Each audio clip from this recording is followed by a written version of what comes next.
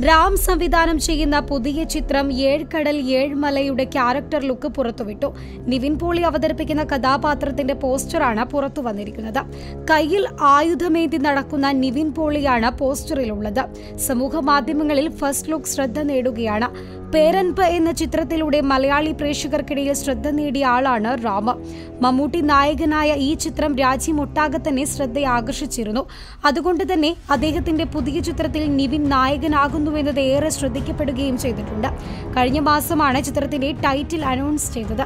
N K ഏകാംബരമാണ് ചിത്രത്തിന്റെ ഛായാഗ്രഹണം നിർവഹിക്കുന്നത്.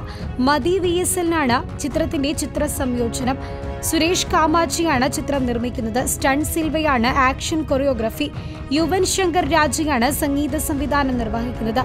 പ്രൊഡക്ഷൻ ഡിസൈനർ ഉമേഷ് ജെ കുമാറാണ്.